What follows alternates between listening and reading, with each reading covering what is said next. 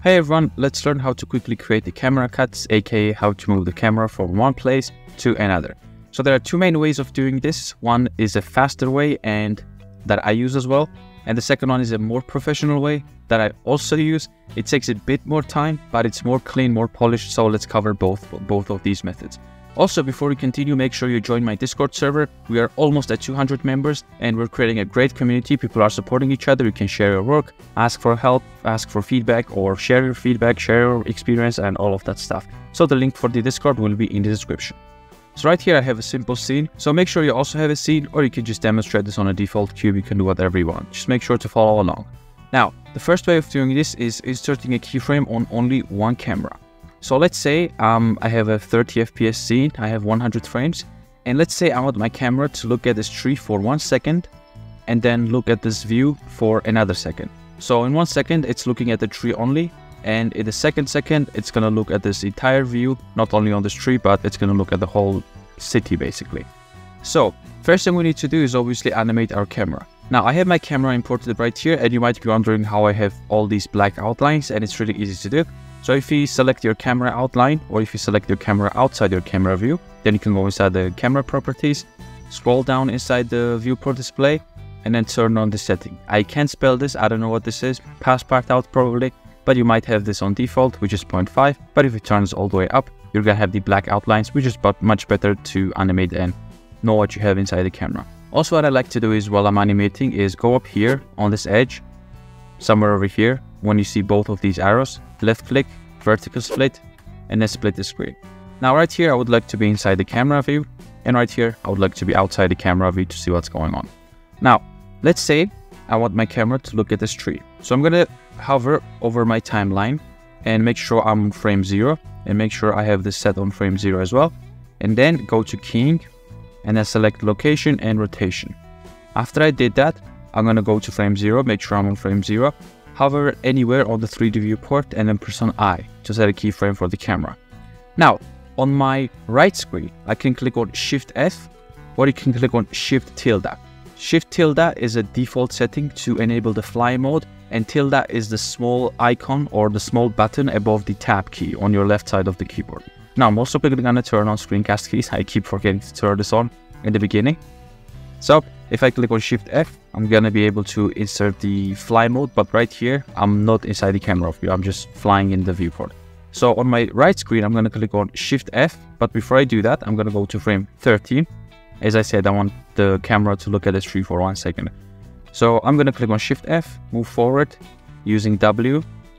You can use WASD to move around. And then if I play back my animation, I have this small motion of my camera going from one side to another, aka from back to forward. Now I'm gonna press both, select both of those keyframes, press on A, then T, and then make this linear. Because most times you want your camera movements to be linear. Now there are some cases where you want them to be bezier, follow the curve, and use M3s to rotate them, but for this case, we need it to be linear and smooth. Now, on another second, I want the camera to look at this view. So, while I have my camera selected, while I'm using the first method, I'm gonna go to frame 30, and then press on I. Now, even though the keyframe was set, we still need to press on I to make sure the keyframe is set on all axes and all transforms. Now, I'm going to click on my right arrow on my keyboard. On uh, I'm going to hover over the timeline first, and then I'm going to click on the right arrow, and that's going to move me forward one frame.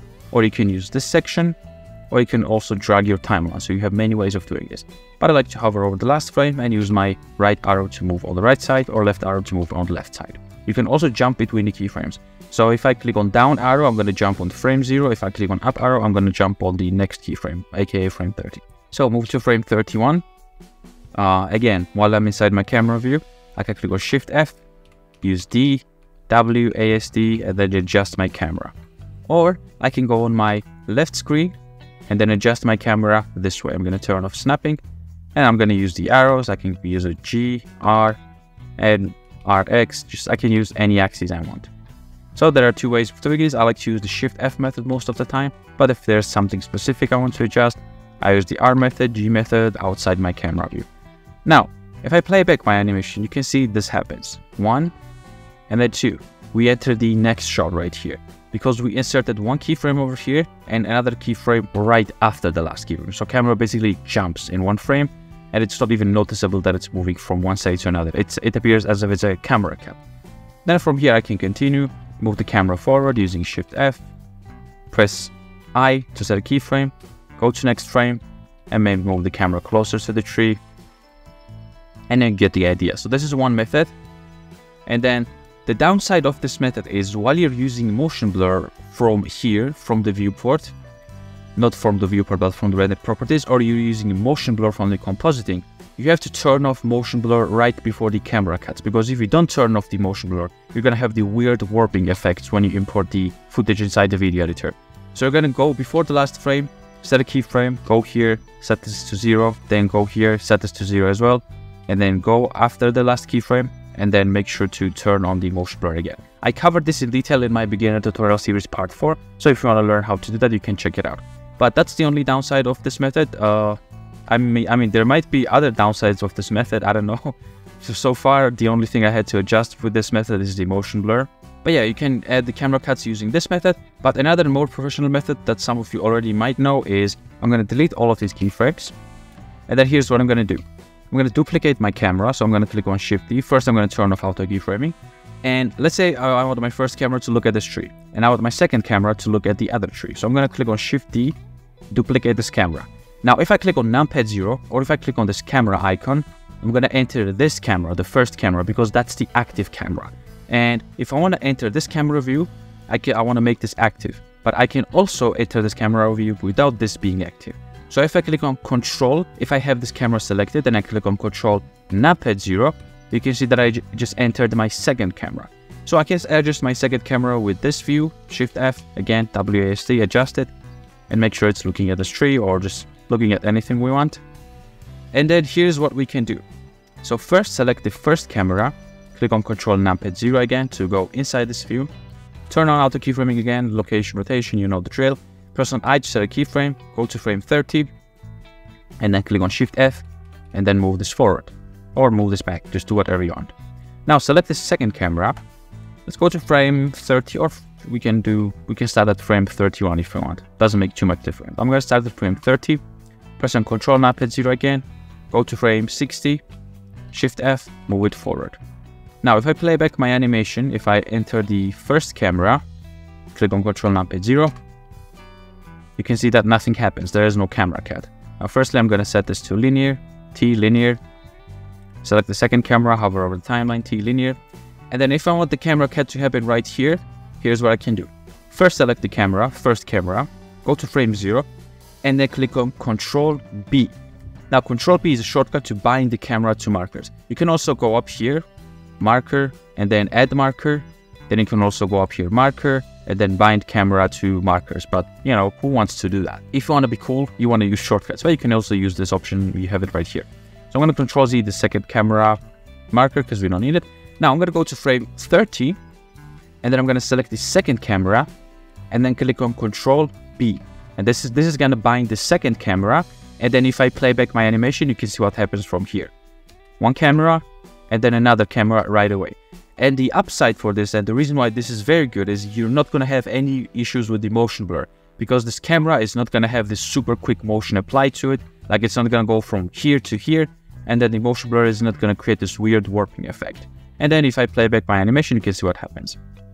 And then the great thing about this method again is that you can create like multiple cameras. You can use two cameras, three or more. And then in the beginning of your animation, you can position your cameras wherever you want. Like for example, I want this camera to look at this view, control numpad 0. And then I can position my cameras in the beginning of my animations and then I can keyframe them after I start animating. So let's frame, uh, let's say on frame 60, I'm gonna on A, delete all the keyframes and then set the keyframe on frame 60. Once again, adjust it and then go to frame 80 or frame 90 and then move this forward. Control numpad 0, move this forward, Again, go to frame 60, click on Control B, and now I just entered this view. And we have three camera cuts right here, one, two, and then three.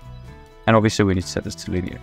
So yeah, I hope you get the main idea of this. Now, if you don't want to create too many cameras, you can use two or three cameras. So what you can do is after frame 90, you can go somewhere over here, select your first camera, then go back about one or two frames. So I'm gonna go back one frame, press on I to set a keyframe, then go forward about on frame 90, press on I to set a keyframe again, and then grab your camera and just move this anywhere you want. Let's say I want to look at this tree from this view, control numpad 0 to adjust it.